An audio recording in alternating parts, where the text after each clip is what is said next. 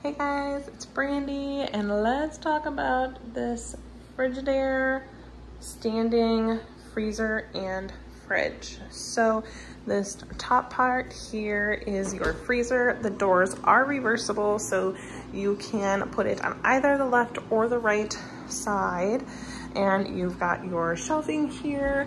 You have your shelf on the inside and you can add more.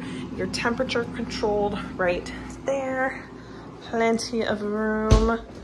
And then here your um, handle is actually the top part of the drawer. So that's really nice and convenient.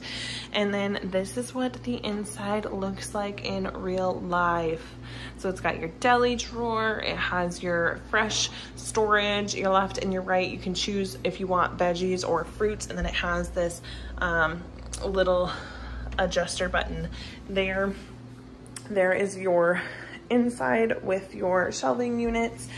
Um, we have this fridge in our pantry and it works really, really great for this space.